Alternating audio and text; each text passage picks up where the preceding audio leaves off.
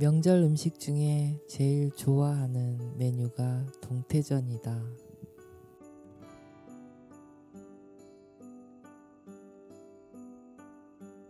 다른 메뉴들은 세월이 지나면서 바뀌거나 먹고 싶을 때 해먹는다. 동태전에 대한 추억들이 생각난다.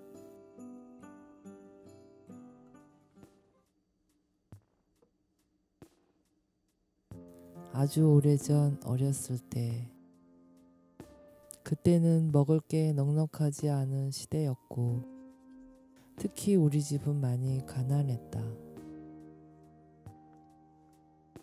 명절이 되어도 음식을 이것저것 해 먹을 수가 없어서 명절이 그닥 즐겁지만은 않았다.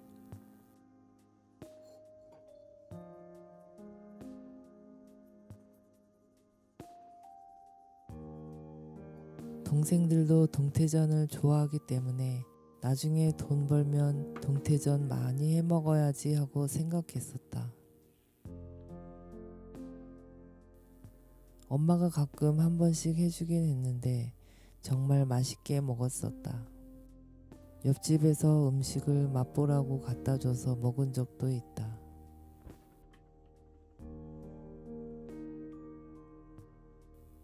친구네 놀러 가면 친구가 동태전이랑 잡채를 먹으라고 준 적이 있다. 너 이거 좋아하잖아. 많이 먹어 하면서 챙겨줬다. 내가 좋아하는 음식을 알고 있었다는 게 고마웠다.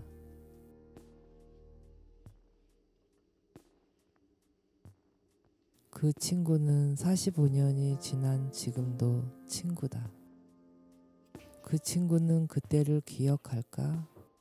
나중에 물어봐야겠다.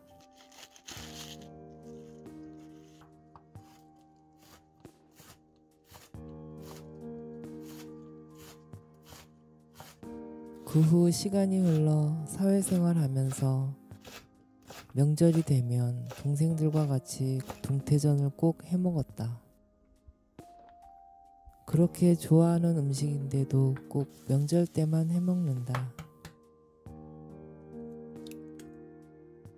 나는 시장 구경하는 것을 좋아한다. 반찬 가게 앞을 지나다 보면 동태전이 눈에 띈다. 나에게는 비싸게 느껴져서 한 번도 사먹은 적은 없다.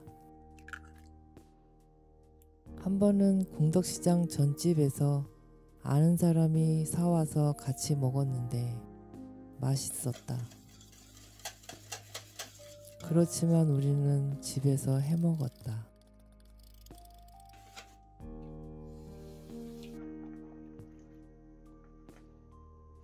동태포는 사던 곳에서만 산다.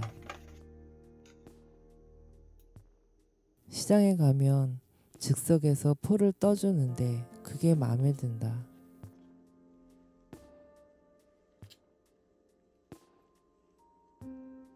한 번은 동태포를 3만 원어치 사고 계산하는데 어떤 아주머니가 동태포를 왜 이렇게 많이 사냐고 하길래 많이 먹으려고요 하니까 아주머니가 놀라면서 자기네는 한 팩도 많다며 차례상에 올릴 거 5천 원짜리 한 팩만 사가지고 갔다.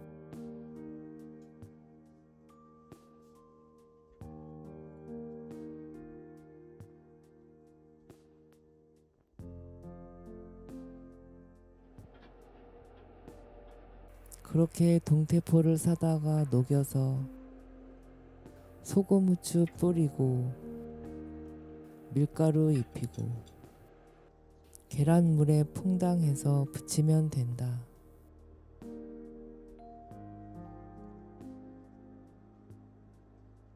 손이 많이 가지만 그 시간이 즐겁고 재밌다. 두 시간 정도면 다 붙인다.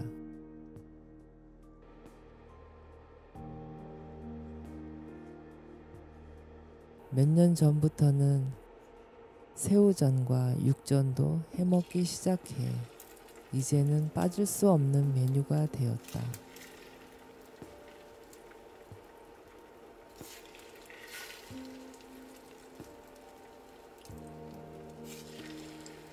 씹을 때 탱글탱글한 새우전과 한우로 하면 더욱더 고소한 육전은 식구들이 다 좋아한다.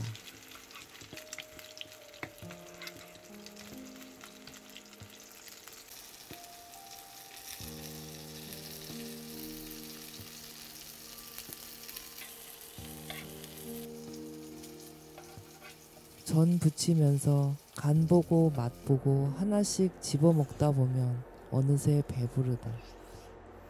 그때가 제일 맛있다. 가시 때문에 안 먹는 아들도 요때는 맛을 본다.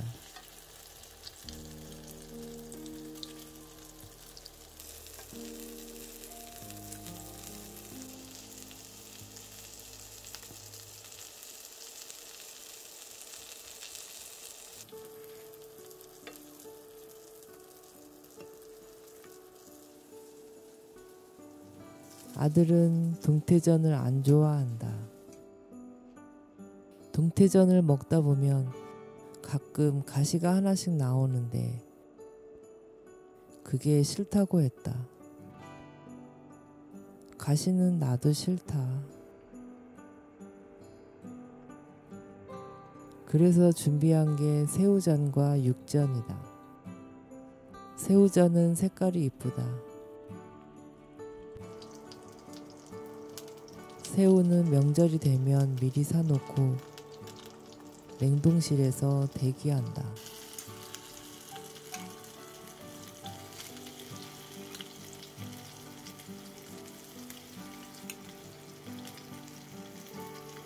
새우전을 하고 남은 새우는 라면에 넣어 먹거나 스파게티 또는 된장찌개나 칼국수를 할 때 넣어서 다양하게 활용해도 좋다.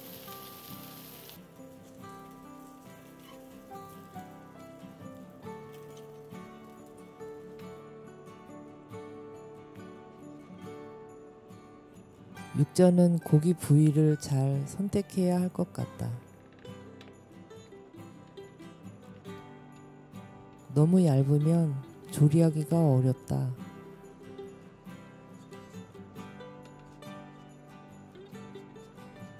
불고기감도 해보고 차돌박이도 해보았다. 맛은 있었지만 이쁘게 되지가 않았다. 그래서 이번엔 홍두깨살로 해봤다. 너무 조금 샀는지 한 끼에 다 먹었다.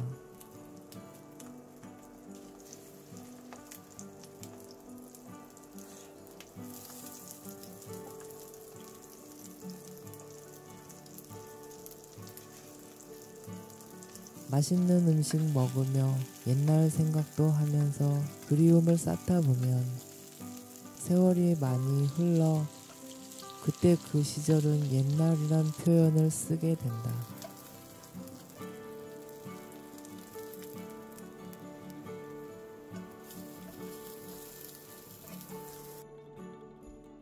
앞으로도 명절이 오면 맛있게 해 먹을 것이다. 오늘의 한 그릇 동태전, 새우전, 육전입니다.